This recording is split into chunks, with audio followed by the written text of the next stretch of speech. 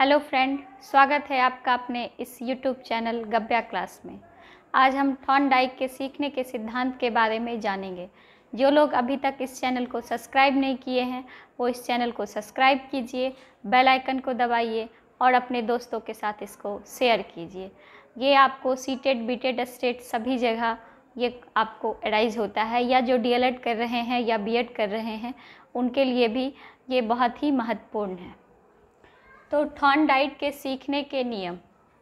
पहला है प्रभाव का नियम।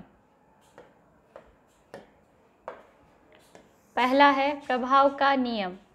प्रभाव का नियम कहने का सेंस है कि आप पर जो सीखने का प्रभाव पड़ता है। आप पर जो सकारात्मक प्रभाव पड़ता है तो आप सकारात्मक दिशा की ओर अग्रसर होते हैं। आप पर अगर इसका नकारात्मक प्रभाव पड़ता है तो आप ये इसके लिए नकारात्मक की तरफ़ अग्रसर होते हैं। दूसरा है आपका तत्परता का सिद्धांत।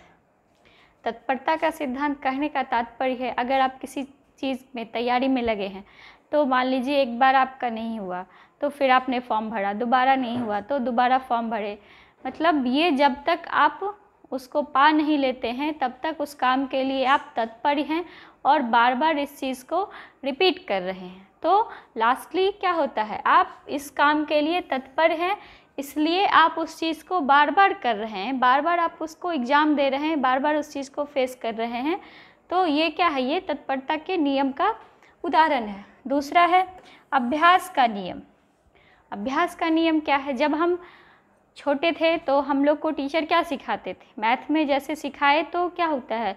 एडिशन में सब्ट्रैक्शन में थोड़ा सा मिस्टेक होता है। फ़र्स्ट टाइम थोड़ा ज़्यादा होता है। सेकेंड टाइम जब बनाए तो उससे थोड़ा कम हुआ। थर्ड टाइम उससे कम हुआ। तो हम जो बार बार अभ्यास कर रहे हैं, वो क्या हो रहा है? धीरे धीरे हमारा घटता जा रहा है। ठीक है? जो हमारा त्रुटि है, जो हमारा गलतियाँ हैं, वो धीरे धीरे घटता जा रहा है। इसलिए ये क्या है? अभ्यास का नियम है। तो ये था हमारा ठॉन डाइक का सीखने का सिद्धांत, ठीक है? जो लोग अभी तक मेरे चैनल को सब्सक्राइब नहीं किए हैं, वो इस चैनल को सब्सक्राइब कीजिए, बेल आइकन को दबाइए और अपने दोस्तों के साथ शेयर कीजिए। Thank you.